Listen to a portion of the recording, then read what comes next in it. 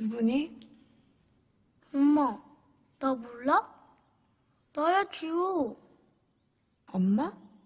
내가 네 엄마야? Kembali lagi bersama teman gabut Channel yang membahas cerita alur film-film keren di seluruh dunia Yang akan menemani kegabutan teman-teman semuanya Terima kasih karena sudah menonton video sebelumnya Buat yang belum nonton cerita alur film Bridge to Terabitia Silahkan klik link yang sudah saya sertakan di deskripsi video ini Kali ini teman gabut akan membahas sebuah film yang sangat mengesankan dan mengharukan, yaitu Be With You. Film dari Korea Selatan yang rilis tahun 2018. Film ini merupakan remake dari film Jepang yang rilis pada tahun 2004 berjudul sama. Selain itu, film ini juga merupakan adaptasi dari novel karya penulis Jepang Takuji Ichikawa. Film yang disutradarai oleh Lee Jang Hoon ini berdurasi 132 menit, bercerita tentang seorang ayah muda bernama Woo Jin yang harus mengurus anak semata wayangnya Jiho karena istrinya Soa meninggal dunia. Suatu hari sebuah keajaiban terjadi. Suah hidup kembali dan menjalani kebahagiaan bersama-sama mereka lagi. Film ini dibintangi oleh Su Ji Sub sebagai Woo Jin, Lee Yoo Jin sebagai Wujin muda, Son Ye Jin sebagai Suah, Kim Hyun So sebagai Suah muda, Kim Ji Hwan sebagai Jiho, Ko Chang Suk sebagai Hong Bu, dan masih banyak lainnya.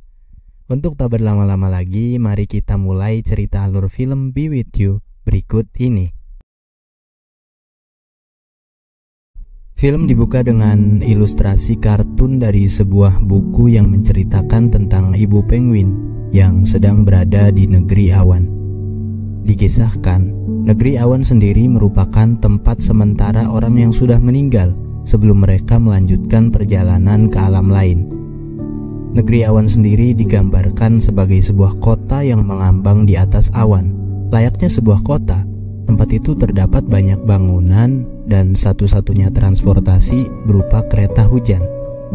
Di negeri awan, setiap yang meninggal akan diberikan jatah satu kali untuk turun ke bumi menemui orang-orang yang mereka sayangi.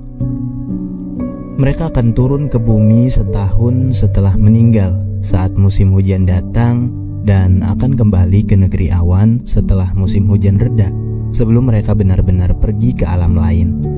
Istilahnya, Negeri awan adalah tempat peristirahatan sementara bagi orang-orang yang sudah meninggal. Di sana, selama satu tahun itu, mereka bisa mengawasi orang-orang yang mereka sayangi melalui sebuah lubang awan yang terhubung ke bumi. Setahun kemudian, musim hujan datang. Ibu penguin turun ke bumi menggunakan kereta hujan untuk menemui anaknya yang masih kecil. Setelah turun di stasiun bumi, ibu penguin mendapati anaknya tengah menangis di stasiun itu. Ibu penguin kemudian memeluk erat anaknya. Sebelum musim hujan berakhir, ibu penguin menggunakan kesempatan itu untuk bermain bersama anak penguin, mengajari anaknya berenang dan cara mendapatkan ikan. Hal itu bertujuan untuk mengajarkan anaknya mandiri saat ibu penguin meninggalkannya. Saat musim hujan berakhir, peri hujan dari negeri awan datang untuk menjemput ibu penguin. Peri itu mengingatkan bahwa ibu penguin harus segera pulang sebelum awan di musim hujan menghilang. Jika ibu penguin tak segera pulang ke negeri awan, ia tak akan bisa kembali ke negeri awan dan tak bisa lagi mengawasi anaknya dari sana. Ia pun tak akan bisa hidup lebih lama lagi di bumi, karena ibu penguin dan anaknya sudah berbeda alam. Ibu dan anak penguin itu pun berpisah di sebuah stasiun. Mereka pun berpisah untuk selamanya. Ibu penguin tersebut pun mengawasi anaknya dari negeri awan setiap hari. Sin kemudian berpindah ke sebuah rumah pemakaman di mana seorang anak kecil berusia 8 tahun bernama Jiho tengah membaca buku cerita penguin milik ibunya bernama Soa. Di saat sedang berkabung karena Suah baru saja meninggal dunia. Ibunya meninggal karena penyakit tertentu di rumah pemakaman tersebut, Jiho dan ayahnya, Ujin, merasa sangat sedih dan merasa bingung bagaimana mereka bisa hidup tanpa Su'ah, orang yang paling mereka sayangi. Di rumah pemakaman itu pula, keluarga dari Su'ah tengah berbisik-bisik. Mereka menyayangkan kematian Su'ah dan meragukan apakah Wujin bisa merawat Jiho sendirian. Setahun setelah kematian Su'ah di musim panas tahun 2006, Wujin dan Jiho tengah tertidur bersama. Saat alarm dari jam digital berbunyi pada pukul 3 subuh, Wujin bangun untuk berangkat kerja. Ia pun kemudian mengendarai sepeda menuju tempat kerjanya. Wujin bekerja di sebuah tempat renang sebagai cleaning service. Di rumah, Jiho yang masih tertidur kemudian bangun dan berjalan menuju kamar ibunya. Di sana, ia melanjutkan tidurnya kembali di dalam lemari sembari mencium baju bekas Suah. Paginya, Wujin pulang dan langsung menyiapkan sarapan sebelum Jiho sekolah. Terlihat bahwa Wujin masih belum terampil mengurus rumah sepeninggalan Soa. Dapur dan rumah berantakan dan ia masih saja belum terbiasa menggoreng telur. Kemudian alarm berbunyi, Wujin pun membangunkan Jiho untuk sekolah. Namun, Wujin tak mendapati Jiho di kamarnya. Ia pun langsung menduga Jiho lagi-lagi tertidur di dalam lemari. Benar saja, Wujin menemukan Jiho tertidur di lemari pakaian ibunya. Ia pun membangunkannya dan menyuruhnya sarapan, lalu berangkat ke sekolah. Saat berjalan menuju dapur, Jiho antusias ketika mendengar berita di televisi yang mengabarkan bahwa musim hujan sebentar lagi akan tiba. Jiho masih begitu percaya bahwa cerita penguin di buku milik ibunya adalah kisah nyata. Ia yakin bahwa jika musim hujan tiba, ibunya yang telah meninggal akan pulang ke rumah seperti ibu penguin yang pulang menemui anaknya. Tiba-tiba Wujin kelabakan karena ia ternyata lupa mematikan kompor sehingga telur untuk sarapan mereka menjadi gosong. Mereka pun terpaksa sarapan dengan telur yang gosong. Di tengah sarapan tersebut, Jiho terus merengek bertanya apakah musim hujan akan datang. Ia pun menanyakan apakah Wujin bersemangat karena sebentar lagi ibu akan datang. Namun Wujin tak sepenuhnya mempercayai cerita di buku itu. Wujin hanya menanggapi seadanya perkataan Jiho dan memintanya untuk melanjutkan sarapan karena khawatir terlambat berangkat ke sekolah. Setelah sarapan, Wujin pun mengantarkan Jiho ke sekolahnya menggunakan sepeda. Jiho mengatakan bahwa sepulang sekolah, ia akan ke toko roti Paman Honggu, sahabat Wujin. Setelah itu, Wujin langsung kembali ke tempatnya bekerja. Siangnya, di toko roti Honggu, Honggu sang pemilik sedang memperhatikan seorang pelanggan perempuan yang cantik. Tak lama kemudian, saat pelanggan itu meninggalkan toko, Jiho datang dengan wajah yang cemberut. Honggu pun menghampiri Jiho dan bertanya kepadanya, mengapa Jiho tampak sedih? Ternyata Jiho mendapat informasi dari sekolah bahwa ia akan mewakili kelasnya dalam perlombaan lari estafet bersama ayah mereka. Jiho tampak sedih karena Wujin tak diperbolehkan melakukan aktivitas yang berat seperti berlari karena penyakit yang dideritanya. Paman Honggu menawari diri sebagai pengganti Wujin untuk ikut lomba lari estafet. Namun, Jiho masih merasa sedih karena Paman Honggu tak bisa berlari cepat karena kakinya yang pendek. Paman Honggu terus merayu Jiho dengan memamerkan bentuk kakinya. Jiho pun akhirnya setuju dan kembali tersenyum bahagia. Kemudian datanglah Wujin untuk menjemput Jiho. Wujin heran, Jiho terlihat sangat bahagia. Jiho pun memberitahu bahwa ia akan ikut lomba lari estafet mewakili kelasnya bersama paman Honggu. Ayahnya merasa bersalah karena tak bisa mendampingi Jiho lomba lari estafet di sekolahnya. Saat hendak pulang, Honggu memberitahu Wujin bahwa ada seorang pelanggan cantik yang sepertinya cocok menjadi pengganti Su'a.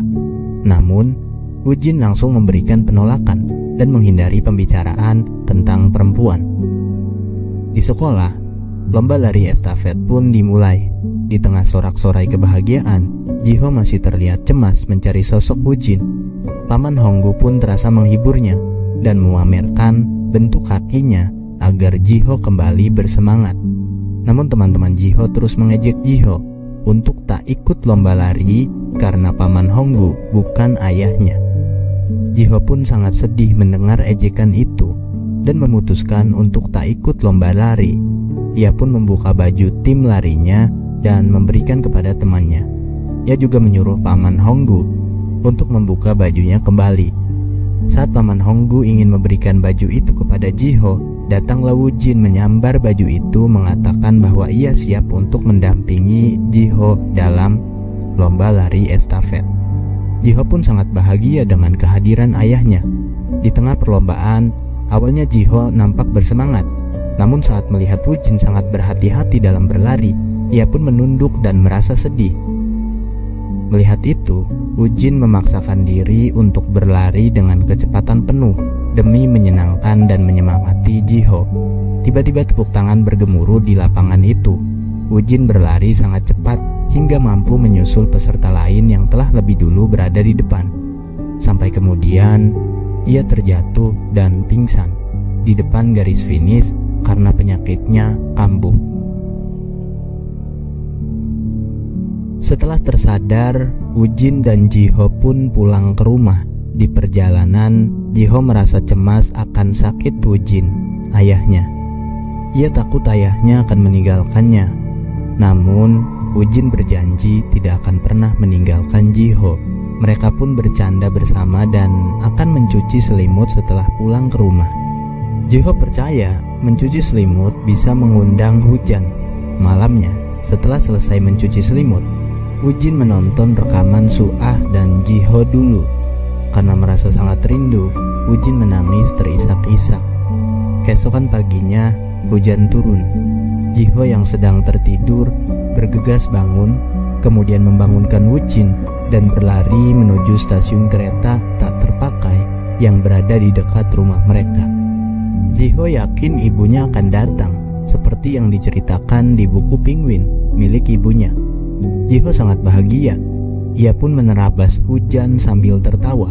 Ujin mengejarnya karena takut Jiho akan sakit jika hujan-hujanan. Sesampainya di sana, Jiho berteriak memanggil Soah berkali-kali. Ia mencarinya di setiap sudut stasiun, namun Soah tak ada di sana. Ujin merasa sedih melihat Jiho. Ia sadar bahwa buku cerita itu hanyalah fiksi dan Soah yang telah meninggal.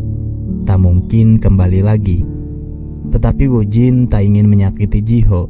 Ia terus menemani Jiho untuk menunggu ibunya datang. Setelah cukup lama menunggu, Wujin mengajak Jiho pulang dan menghiburnya bahwa Suah mungkin ada kesibukan sehingga hari ini tidak jadi datang. Namun Jiho tetap kekeh ingin menunggu ibunya karena kesal dan tak ingin Jiho terkena hujan terlalu lama. Wujin pun menggendong paksa Jiho. Jiho terus merengek tak mau pulang. Di tengah perjalanan saat melewati terowongan rel kereta, Ujin melihat sesosok perempuan yang duduk menyender di dinding terowongan. Karena melihat dari kejauhan, Ujin berpikir bahwa perempuan itu adalah orang jahat atau orang gila karena kepalanya menunduk sehingga ia tak mengenalinya. Namun, Jiho yakin bahwa itu adalah Suah, ibunya. Kemudian Wujin dan Jiho pun pulang bersama Suah. Jiho tampak sangat bahagia. Sementara itu, Suah masih bingung dengan apa yang terjadi. Ia benar-benar tak ingat apa pun. Jiho terus berusaha mengingatkan ibunya dengan menunjukkan foto mereka bertiga.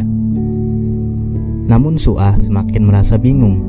Lalu Jiho menunjukkan sebuah gambar buatannya yang sengaja ia persiapkan untuk menyambut kedatangan Suah.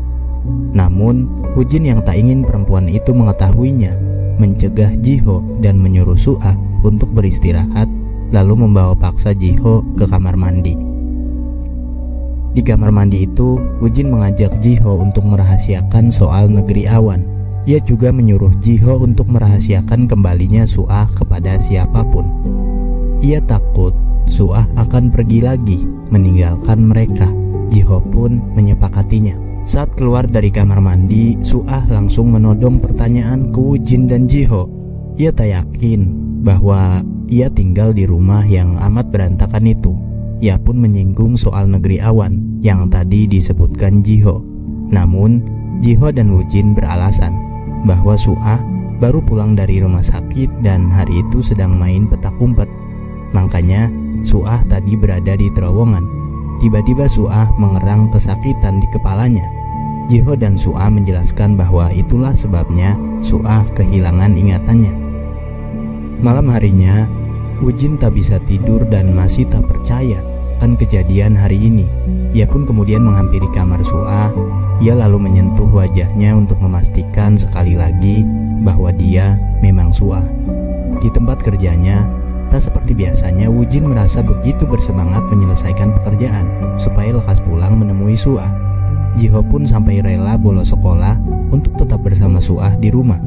Jiho pun menghabiskan harinya bermain bersama ibunya. Malam harinya, saat makan malam, Jiho tak ingin makan. Ia hanya ingin makan kue beras buatan ibunya. Meskipun tak tahu bagaimana cara memasak lagi, Suah pun memasak kue beras untuk Jiho. Tiba-tiba minyak di penggorengan meletus, menyebabkan kue berasnya berlompatan dan nyaris mengenai punggung Suah. Namun, Ujin sigap memasang badan memeluk Suah dari belakang, sehingga kue beras panas itu jatuh ke punggung Wujin. Setelah itu, selesai mandi, Ujin yang sedang salah tingkah diminta untuk membuka pakaian. Ujin mengira bahwa Suah ingin mengajaknya berhubungan badan, namun ternyata Suah menawarkan untuk mengobati luka bakar di punggung Wujin. Kejadian itu semakin membuat Wujin salah tingkah. Saat Suah mengolesi salep di punggung Wujin, Suah meminta Wujin untuk menceritakan masa lalunya, mengapa mereka bisa menikah. Sin pun berpindah ke sebuah sekolah di mana pada masa itu Suah dan Wujin satu kelas selama tiga tahun. Suah yang masih muda adalah siswi terpandai di sekolah itu, sedangkan Wujin adalah seorang perenang yang hanya masuk kelas setengah hari. Itulah yang membuat mereka berdua tak pernah berbicara, meskipun tiga tahun berada dalam satu kelas yang sama. Kemudian pada saat praktik renang, Suah nyaris tenggelam. Namun Wujin menyelamatkannya. Ternyata Diam-diam, Wujin menyukai Suah dan berusaha mendekatinya. Honggu muda yang mengetahui bahwa sahabatnya menyukai Suah menawarkan saran bagaimana cara mendekati Suah. Honggu meyakini bahwa Suah sebenarnya menyukainya juga. Namun, Suah pintar dalam menyembunyikan perasaannya. Honggu menyatakan bahwa Wujin harus mendekatinya pelan-pelan dan senatural mungkin agar tak membuat Suah merasa risih. Saat mata pelajaran dansa di kelas olahraga, kebetulan sekali Suah dan Wujin dipasangkan atas permintaan gurunya karena keduanya memiliki kaki kidal. Karena sama-sama grogi, tarian dansa mereka tak berjalan dengan baik. Tiba-tiba Wujin tak sengaja melukai hidung Suah yang membuat darahnya bercucuran. Wujin yang merasa bersalah mencoba membersihkan darah itu, namun Suah malah pergi karena malu. Hal itu membuat mereka akhirnya saling menjauh selama tiga tahun. Singkat cerita, hari kelulusan tiba. Honggu menyuruh Wujin untuk mengungkapkan isi hatinya kepada Sua sebelum mereka berpisah. Namun Wujin malu, mereka pun bertengkar. Saat itu, tiba-tiba Sua menghampiri mereka untuk meminta tanda tangan dan sepatah kata di buku catatan akhir sekolah. Honggu yang pertama kali membubuhkan tanda tangannya di buku itu setelah itu Su'a menyuruh Wujin menuliskannya juga. Saat itulah Wujin terlihat senang dan tak menyangka akan hal itu. Itulah pertama kali mereka berkomunikasi. Setelah selesai, Su'ah pergi. Tak lama kemudian Wujin ingat bahwa pulpennya dibawa Su'ah. Ia pun mengejar dan mencari Su'ah. Namun ia gagal menemukannya. Sin kembali ke rumah Wujin. Di tengah keasikan Wujin bercerita Tiba-tiba Jiho bangun dan tidur di pangkuan Suah. Saat itulah Ujin melanjutkan ceritanya.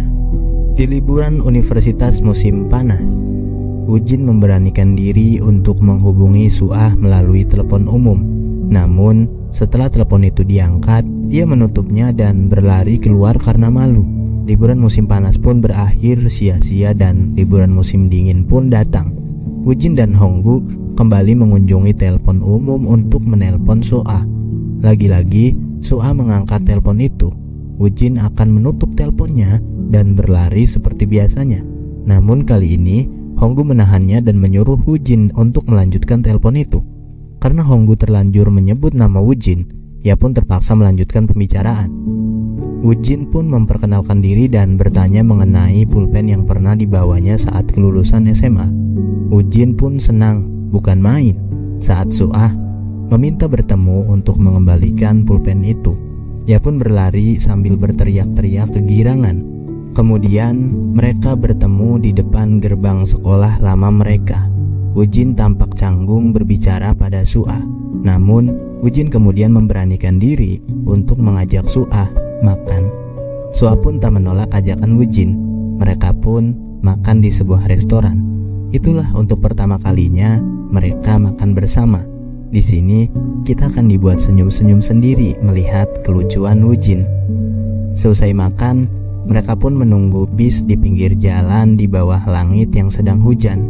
Soah pun mengatakan bahwa besok ia akan berangkat ke Seoul. Setelah bis berjalan agak jauh, Wujin tiba-tiba mengejar bis itu untuk mengatakan sesuatu. Bis pun berhenti dan Wujin memaksa masuk. Soah pun kebingungan. Ternyata Wujin hanya ingin bertanya, apakah ia boleh menyurati Soah. Soah dan seluruh penumpang di bis itu tertawa melihat Wujin. Ditambah, Pomade di rambut Wujin terkena hujan, sehingga cairannya luruh mengalir ke wajah. Su'a pun mengelapi wajah Wujin menggunakan tangannya. Manis sekali. Cerita Wujin pun bersambung karena Jiho yang sedang tidur di pangkuan tiba-tiba tertawa. Sin kemudian berpindah ke tempat kerja Wujin. Ia kini jauh lebih bersemangat dan seperti menemukan kembali gairah hidupnya. Saat tengah membersihkan meja, ia mendengar berita di televisi bahwa musim hujan tahun ini berjalan lebih panjang. Ia pun senang mendengar berita tersebut. Di sekolah, teman-teman Jiho tampak tak menyukai dengan musim hujan. Salah satu teman Jiho sampai berkata bahwa hujan ini disebabkan oleh ayahnya yang sering mencuci mobil. Tak seperti teman-temannya, Jiho sendiri sangat senang dengan musim hujan tahun ini. Ia merasa tak ingin musim hujan ini segera berakhir. Di rumah, Suah yang hendak menjemur pakaian tampak kesal dengan hujan. Tak sengaja, ia kemudian melihat sebuah gubuk di dekat rumah. Karena penasaran, ia pun menghampiri dan masuk ke gubuk itu. Namun pintu gubuk itu terkunci. Suah ingat, saat pertama kali pulang ke rumah itu, ia pernah melihat sebuah kunci di dalam laci. Ia pun mengambil kunci itu dan kemudian berhasil membuka pintu gubuk tersebut. Di dalam gubuk itu, Suah terkesima dengan penampilannya Gubuk itu seperti sebuah studio yang penuh dengan lukisan di kertas. Itu adalah ruangan khusus Soa saat masih hidup. Soa pun tersenyum melihat dan membuka-buka gambar Jiho dan suaminya yang pernah dibuatnya. Di tempat lain, di sebuah restoran, Ujin datang memenuhi janji dengan Honggu. Ia kesal saat mendapati Honggu ternyata sedang bersama perempuan.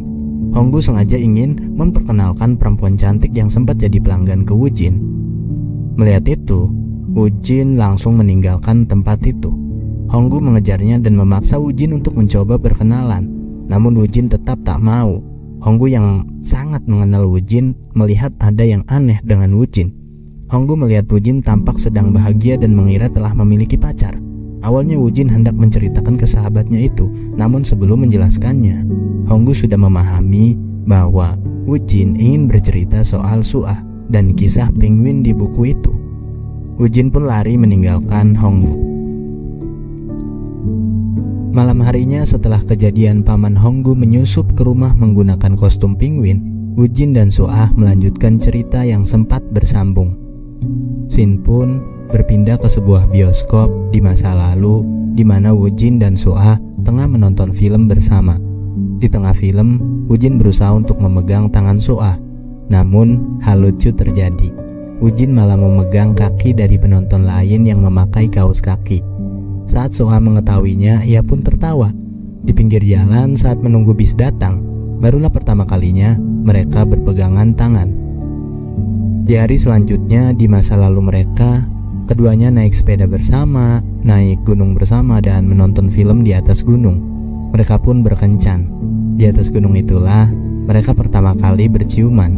Di momen ini, mereka berdua sangat romantis. Cerita akan masa lalu Jin dan Suah pun bersambung. Kemudian Sin kembali lagi ke rumah Wujin. Mereka bertiga pun bermain bersama, berlibur bersama, dan berbahagia. Kini Suah tampak terlihat tidak lagi canggung. Saat pulang ke rumah, Wujin terjatuh karena kelelahan. Suah pun nampak sedih melihat Wujin berbaring sakit di tempat tidur. Saat tersadar, Suah pun menyayangkan Wujin yang tak menceritakan soal sakitnya. Wujin pun kemudian menceritakan masa lalu mereka lagi. Sin berpindah ke depan rumah Suah di masa lalu. Setelah pertemuan ketiga mereka, Suah memberikan sebuah gambar daun yang telah dilaminating untuk menyemangati Wujin yang akan bertanding dalam lomba renang nasional. Setelah pertemuan itu, Wujin berlatih sangat keras. Saat perlombaan berlangsung, Wujin mengalami kecelakaan dan tenggelam di kolam. Untungnya, ia bisa diselamatkan. Dokter mengatakan bahwa ada masalah dengan hormon di otak Wujin. Hormon itu menyebabkan Wujin harus minum obat hingga sembuh. Namun keadaan semakin memburuk. Setiap tegang dan kelelahan, Wujin pasti jatuh pingsan. Ia pun akhirnya pensiun dini sebagai atlet renang.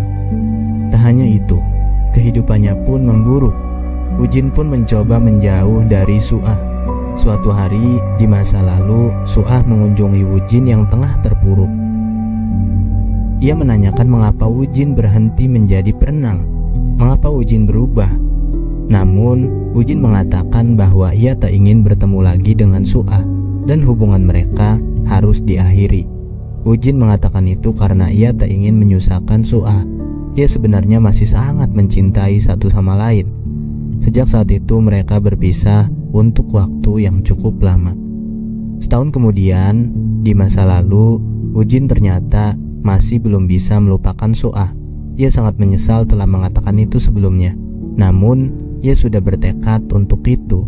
Ia tak ingin Soah menderita bersamanya, hidup susah dengan orang yang berpenyakitan seperti dirinya. Namun, Cinta tak dapat dibohongi, rindu tak mungkin ditutupi. Saking rindunya, Ujin pun pergi ke Seoul untuk bertemu Suah. Di kampus Suah, Ujin akhirnya bertemu dengan Suah. Ujin melihat Suah baru saja keluar dari sebuah gedung. Namun, saat akan menghampirinya, sebuah mobil berhenti di depan Suah dan mengajaknya pergi. Ujin pun merasa bahwa harapannya memang telah berakhir. Ujin merasa bahwa Su'a telah hidup berbahagia dengan yang lain. Sejak itu, bertahun-tahun lamanya mereka tak berhubungan lagi. Ujin berusaha melanjutkan hidupnya dengan susah payah. Tiba-tiba di suatu siang di masa lalu saat Ujin tengah membereskan sebuah barang, telepon di rumahnya berdering. Ia amat terkejut ketika mendengar bahwa seorang yang meneleponnya adalah Su'ah. Su'ah mengatakan bahwa ia akan menemui Wujin Suah sudah memutuskan semuanya untuk hidup bersama Wujin. Dengan perasaan yang bimbang, Wujin pun menemui Suah di stasiun kereta. Mereka pun berpelukan, menuntaskan kerinduan mereka berdua dan akhirnya tak lama kemudian mereka menikah. Sin pun berpindah ke rumah Wujin. Jiho, Wujin dan Suah sedang sarapan.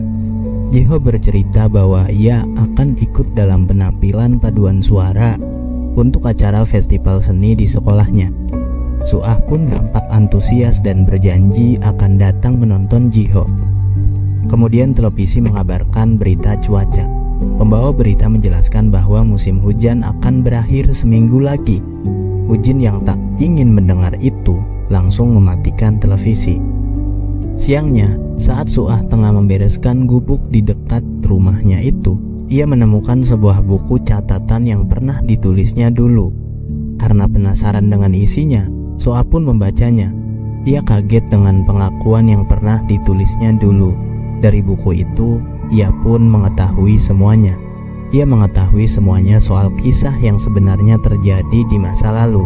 Mengapa ia kemudian memutuskan untuk hidup bersama Wujin? Setelah itu Suah pun mengajarkan Jiho memasak telur sendiri, menjemur pakaian, membersihkan rumah, mandi, seperti cerita penguin di buku yang pernah ditulisnya. Ia yang mengetahui akan meninggalkan Jiho dan Wujin untuk selamanya, ingin Jiho dan Wujin bisa hidup mandiri meskipun tanpanya.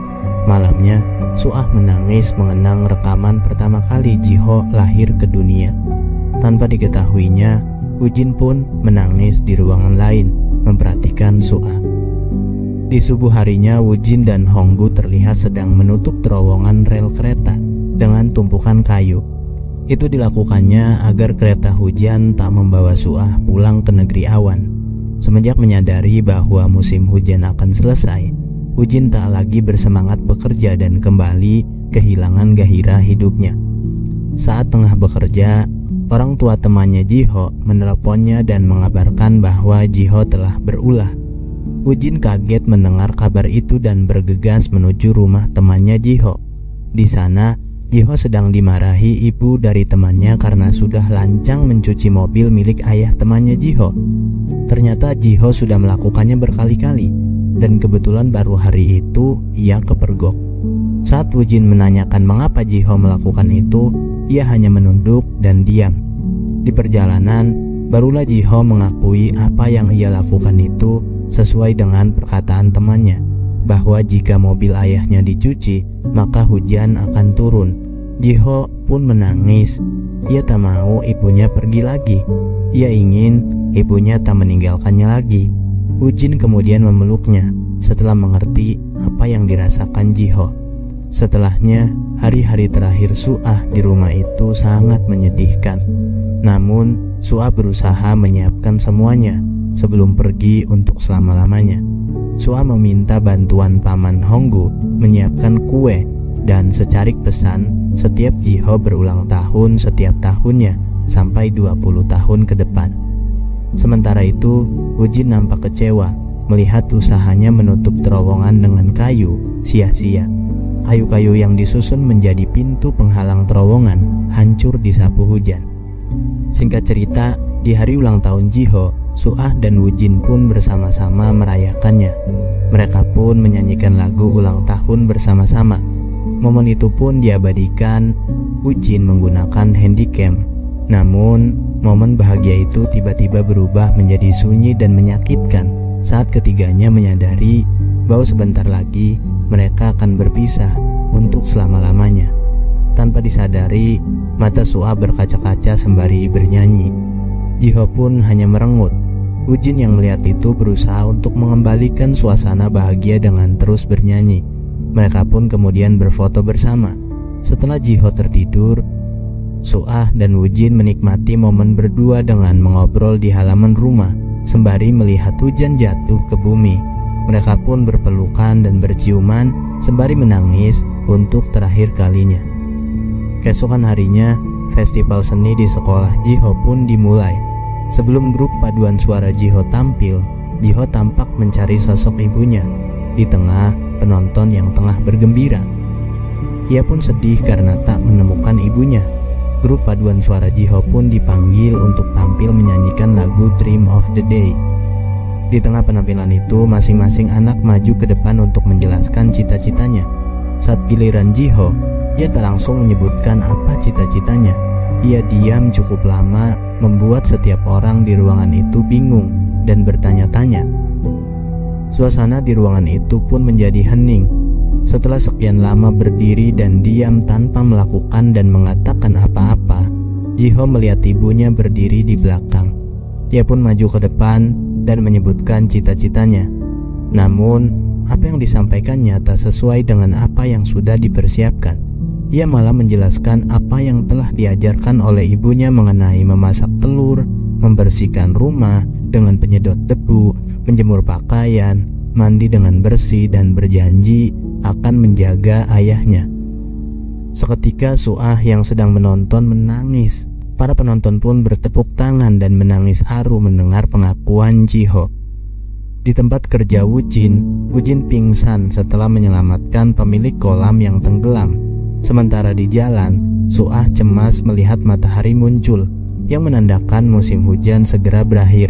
Kemudian, Wujin yang tengah berada di ambulan tiba-tiba tersadar setelah tersorot matahari dari jendela mobil. Ia kemudian berlari menuju sekolah Jiho Jiho pun berlari pulang setelah melihat matahari muncul. Jiho pun mencari ibunya di rumah, namun Suah tak ada di sana. Jio pun menemukan Soah tengah berjalan di rel kereta. Mereka pun berpelukan dan saling meminta maaf. Sementara Wujin tengah bersusah payah di jalanan mengendarai sepeda menuju rumah. Ia pun terjatuh karena hampir tertabrak mobil. Sepedanya pun rusak sehingga ia kemudian berlari. Sesampainya di hutan di dekat stasiun kereta, Wujin terjatuh dan sekarat. Ia pun menangis meraung-raung menyebut nama Suah sambil mengingat percakapannya malam itu di rumah yang meminta Wujin untuk tetap hidup menemani Jiho. Karena janjinya dan kekuatan cintanya yang mendorongnya untuk hidup dan bertemu dengan Suah untuk terakhir kali, ia pun bangkit dan berjalan sempoyongan menuju stasiun kereta. Ia pun berteriak memanggil nama Suah. Ujin pun berhasil sampai di rel kereta sebelum Suah benar-benar pergi. Sin pun kemudian berpindah menampilkan Jiho yang tengah menggoreng telur untuk menyiapkan sarapan. Mereka pun nampak telah menerima kepergian Soa. Kondisi rumah pun terlihat lebih rapi. Jio sendiri sudah mampu menyerut pensilnya sendiri dan mengenakan kaos kaki. Ujin pun terlihat lebih kuat dari sebelumnya. Ia sudah tak takut lagi untuk berenang dan kini menjadi pelatih renang di tempatnya bekerja. Malam harinya, setelah meminum obat, ia menemukan kunci gubuk di wadah obatnya. Merasa bahwa Suah ingin menunjukkan sesuatu di gubuk itu, Ujin pun membuka gubuknya dan menemukan buku catatan milik Suah tergeletak di atas meja. Ujin pun membaca buku catatan itu. Ia terkejut dan merasa terharu ketika mendapati kenyataan manis sekaligus menakjubkan di masa lalunya. Di buku itu tertulis bahwa pada 2 Maret 1990, saat Soah dan dirinya SMA, Su'ahlah yang menyukai diam-diam Wujin lebih dulu saat pertama kali bertemu. Saat itu di sebuah gang kecil yang hanya muat untuk satu orang, Su'ah berpapasan dengan Wujin. Kebetulan saat itu sedang hujan dan Wujin memberikan Su'ah jalan untuk melewati gang itu. Kejadian itu membuat Su'ah mengagumi Wujin, laki-laki yang kelak menjadi suaminya. Saat masuk kelas untuk pertama kalinya, Barulah Suha mengetahui untuk pertama kali bahwa laki-laki itu bernama Song Bu Jin. Semenjak saat itu Suha terus memerhatikan Wu Jin setiap saat. Suha selalu mencatat di buku catatannya setiap mengalami kejadian bersama Wu Jin. Suha ternyata berpura-pura menjadi kidal saat kelas dansa agar ia bisa dipasangkan dengan Wu Jin. Suha juga ternyata sengaja membawa pulpen milik Wu Jin karena bingung cara apa lagi yang bisa dilakukan untuk mendekati dan berbicara dengan Wujin. Sepanjang hari di rumahnya di masa lalu, Suah bolak-balik menunggu Wujin meneleponnya untuk menanyakan pulpen itu. Hingga suatu hari, hal yang ditunggunya datang. Wujin menelponnya. Meski ditelepon, Suah berpura-pura menjadi biasa saja, namun ia sungguh sangatlah bahagia karena telepon itu. Soa semakin bahagia ketika kemudian ia semakin dekat dengan Wujin setelah mengembalikan pulpen itu. Namun, suatu hari, hari buruk Suah datang. Wujin memintanya melalui surat untuk tidak lagi bertemu dan berhubungan. Karena Suah tak mengetahui apa yang terjadi dengan Wujin, ia merasa hancur atas perpisahan itu. Saat dijemput seseorang dengan mobil di universitas, Suah ternyata melihat Wujin menemuinya Su'a pun turun dan berlari mengejar Wujin. Ketika Su'a mengejar Wujin, ia tertabrak mobil yang menyebabkannya tak sadarkan diri. Namun, hal tak terduga terjadi. Ketika ia membuka mata, Su'ah terbangun di terowongan rel kereta, di mana Jiho dan Wujin sedang berada di sana. Ia terlempar ke masa depan dan bertemu dengan Wujin yang berusia 38 tahun sebagai suaminya dan Jiho yang berusia 8 tahun sebagai anaknya. Ingatannya setelah kecelakaan menghilang. Itulah alasannya mengapa Wujin dan Jiho saat menemukan Suah pingsan di rel kereta. Suah tak mengenali mereka. Hingga akhirnya Suah jatuh cinta lagi untuk kedua kalinya kepada Wujin di masa depannya itu. Kemudian saat mereka berpisah, ternyata Suah tak kembali ke negeri awan. Ia kemudian tersadar di sebuah rumah sakit setelah enam minggu koma karena tertabrak mobil saat mengejar Wucin di universitas itu. Dia kembali lagi ke masa lalu. Awalnya Suah mengira bahwa kehidupan yang dirasakannya itu hanyalah mimpi. Namun, Seiring berjalannya waktu, ia menyadari bahwa itu sungguh nyata terjadi. Su'a telah melakukan perjalanan waktu. Kemudian, Su'a menyadari satu hal. Ia akan meninggal di usia 32 tahun jika ia memilih menikah dengan Wujin dan akan dikaruniai anak bernama Jiho. Jika ia memilih menikah dengan laki-laki lain di usia 32 tahun itu, Soah akan tetap hidup. Namun Soah tak tahu apakah ia akan bahagia dan dikaruniai anak seperti Jiho.